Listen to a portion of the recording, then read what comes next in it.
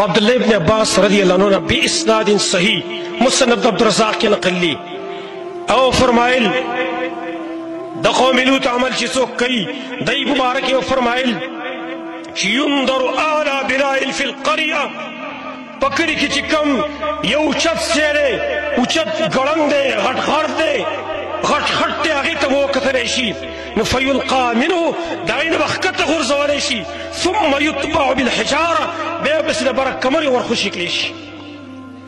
څومره چې اوچت ځای دنګ ځای غټ ګړنګي دقه نه به وزارلی شي دا ګوره ډېر خطرناکه سزا چې په هوا کې سړی روان چې اوس په لاندې رسېږم څه به راسه کېږي په کوم ځای باندې به لګېږم دومره خطرناک سزا وله ورکوي وي سزا ورکوي قوم لوط عمل چې څوک دا کار سره وکوي وي زمارلو نن زمنګ نوجوان طبقه هغه په دې غم کې ډېره مبتلا ده په دې ګن کې ډېره زیاته مبتلا ده د دې اسباب خو ډېر زیات دي اسباب د هغې لپاره یو غټ سبب غټ سبب د فساد هغه د نت استعمال دی په غلط طریقې باندې موبایل ته په غلط طریقې باندې استعمال دی اگر چې عالم کفر ای خدا کوشش کوي چې هغه ګناه په مسلمانانو کې ډېر عام کی چې کوم کوم ګناه د فطرت تم خلاف ده باقی د پاسي ملکونه هغه قوانين جاری کوي خپل اورډیننس جاری کوي چې وړه د یالک تالک ته ودېدل خیر دې جایز دي بعضې ملکونو کې باقاعده د هلک هلک ته ودېدل کېدلی شي د یې خو کار دا دی لیکن مسلمان یې په دې کې مبتلا کو مسلمان په دې په دې ارادو باندې په دې بهانو باندې په دې عادت کې مبتلا کېږي چې هلک د هلک سره تعلقات ساتي مین کېږي پې عشقېږي پې څه وایي وایي زما اوس د الله د رضا دپاره مینه ده نو زه الله د رضا لپاره په خطر مینه دا چا ساتي چې د الله رضا خو پکې کنه اخو ځان په نیک سړی کنه خو فاسق پاجر ځان ټکه مون نه کې دا الله رضا لپاره دا باندې ولي ګوري د الله د رضا لپاره متعلق دی اوس اخو نیک شنو بیا اوس رستا کاغه نیکی ټیک در هغه الله رضا لپاره اوس تعلق ذات او دا نیکان چې دا لګ دی ولي نور خلق لګ دی چې ته پر یو پسین خطه الله رضا نشته دی سره خپل خواهش پوره کول دي خواهش پرستی کول دي نو غټ سببونه یې د نېټ استعمال دی دا ګندګي په فلمونو کې وګوري شهوات د انسان هغه راوچت شي بیا خپل خواهش پوره کول غواړي نو کله په یو ځای کې خپل خواهش پوره کړي کله په بل ځای کې خپل خواهش پوره کړی دی نعوذ بالله تعالی من ذلک کله د لواطت په ذریعه باندې کله د استمناء په ذریعه باندې او کله د عام زناکارۍ په ذریعه باندې خو یاد ترې ګورې د دې ګناه اثر باندې سړی وروسته پوهېږي امام ابن ابي الدنيا على عقوبات کې روایت نقل کړی دی د سلف علماء کې دی عالم عبد الله ابن الجلا رحمت الله تعالی علیه دې فرمایي وی كنت واقفا انظر الى غلام انصار نصرانی زه یو ځای کې ولاړم یو نصرانی یو انګریز هلک و او هغه ته مې کتل حسن چې هغه ډېر ښایسته وایي انګریز هر ښایسته وي ما ورته کتل داسې حال کې ده چې دا عالم هم دی ما ورته کتل او ښایسته غوندې و په دې کې دغه کس په ما باندې راغی دا ابو عبد الله البلخي ابو عبد الله البلخي مشهور محدث او فقيه دی دا په ما باندې تیر شزما په خوا باندې ما تل ما تل ما وقفکا دلته څنګه ولاړی په دې ځکه ولې ولاړی ویل ما وتویلو چې یا عمي اتر تر هذه السوره دا سورت ته نه د شکل تعینې تعذب بالنار چې دا په اور باندې سوځلی کي هغه ګوره الفاظ دا ویل کیدای شي دغه نیت یې هم و چې دوی څومره ښایسته شکل دی ښایسته مخ الله ورکړی دی او دا ګوره د اور باندې به سوځلی کي کیدای شي دغه عبدالله البلخي ابي پوه شو ابو عبد الله البلخي وای فضرب بيديه على كتفي لاس کوم دی لاس ما په وای لاس باندې زما په دې ولي باندې گزارو کدا سي په دې ولي وټه پولم بل ما ته ویرم لتجدن غبها ولو بعد حين وی عبد الله د دې سزا بعد ته بیا مونږ اگر کلک ساترستي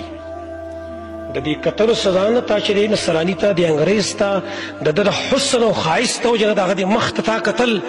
د د دې سزا به زر دی چې ته بیا مونې څه وخت بعد دې دی مونې هغه وایي فوجدت غبها بعد اربعین سنه د دا کتلو سزا د دا انګریز مخ ته چې ما کتل د هغې عقوبت او د هغې سزا څلوېښت کاله بعد ما ته میلاو شوه څلوېښت کاله بعد هغه څه وه چې نسیت القرآن قرآن نه ایستیر شو قرآن مې یاد کړی او د قرآن حافظ وم لیکن د دې منحوس عمل په وجه باندې ما نه قرآن الله ایر کې ایسته قرآن نه ایر شو نن خلک راشي تپوس کوي یاره جي سکول کې باله کې په یونیورسيټي کې په کالج کې باله کې راوي شي څه وای یار جی حافظه مې کار نه کوي حافظه مې وخت وخت باندې خرابي ټیک ته یو خو د باسي دا بیمارۍ نه پوهچ باندې د معدې پوهچ باندې یا د نورو بیمارو په وجه باندې هم حافظه کله خلک کمزوري کیږي کله فدا شي ته د انسان حافظه کمزوري لیکن یو سړي مخکې حافظه ټیک ته وس خراب او شي قسم بیماری پې نه راغلي بل څه وسر نه دی راشي تپوس کې حافظه مې خرابه ده وی څه کار کوي تپوس وکړه کنه دا به خامخا په یو عمل کې مبتلا یي دا په یو عمل کې مبتلا یي لکه د دې آثار په نور دغه باندې هم کېدلی شي د انسان په افکارو باندې هم کېدلی شي مسجد نبوي کې یو عالم هلته انیس طاهر محدث انیس طاهر دا یو عظیم محدث دی جامع اسلامیه کې مسجد نبوي کې درس ورکوي الادب المفرد د امام بخاري دغه درس په ماښام کې ورکاوه موږ دا درس ته کېناستو یو کس په سوال وکړو چې یاره جي ما ته چې کوم دی وهمونه ډېر زیات راځي سوچونه ما ته راځي وسوسې چې ورته لیکي ګوره وسوسې قسمونه باندې ځینې چا ته وسوسې چې کوم دی دا وهمونه راځي د آخرت په باره کې قبر باره کې دا خو ډېر ښه صفت دی چې ته قبر را پیدا کېږي دا نه ویل عام دا وسوسو کې زه ډېر واقع کېږم کله مونږ نه ګډوډ شي کله اودس نه ګډوډ شي وغیره هغه ورته ویل د دې لپاره نور اسباب هم کېدلی شي ټیک د بیماري هم کېدلی شي لیکن زما ویل یو ډاکټر ملګری دی ماهر نفسیات دی ماهر نفسیات دی ویل هغه ماته ویلي چې انیس طاهره اکثر خلک چې نن په دې وسوسو کې مبتلا دي د دې لپاره غټ سبب هغه بربنډ فلمونه کتل دي کم خلک چې بربنډ فلمونه ګوري د فحاشۍ چې څومره فلمونه یې دا ګوري هر وخت کې دا په دې وسوسو کې الله مبتلا کوي په یو مرض یې الله اخته کوي که نه ولې دا دماغ خو الله تعالی دې لپاره نه ودرکړي چې ته پې دا شي نه ګوره نو د هغې ګناه اثر ما ته میلاو شو څلوېښت کاله بعد څلوېښت کاله بعد د هغې په اثر باندې زه پوه شوم زما وروڼو خاص کر نوجوان طبقه ته درخواست دا دی دا داسې یو عمل دی چې انسان فطرت یې نه مني د انسان مزاج یې نه مني د انسان په مخ کې نور ختمي د انسان قوتونه ختمي د انسان زړه کمزوری کوي د انسان د مخ نه کوم نورانیت چې هغه ختمي د دې عمل لري حتی اوس پورې اعتراض وکړي شي نوجوان طبقه ته زمنګ نبی دا خو دا زموږ روحاني پلار دی که نه هغه موږ ته دا نصیحت نه وکړی چې خپل خواهشاتو لپاره تاسو دا عملونه کوئ یا فاش فلمونه ګورئ موږ ته یې څه ویلي وو یا معاشر الشباب من استطاع منکم الباءة فلیتزوج اے ټولګیا د ځوانانو تاسو کې چې چم طاقت وي ځان له دې واده وکړي ښځه ځان له وکړي که چرته وسم نه رسي فمن لم يستطع فعليه بالصوم که څوک طاقت لري د واده پلار ول واده نه کوي فعليه بالصوم روژه دې نیسي فانه له وجا ځکه دا روژه شهوات ختموي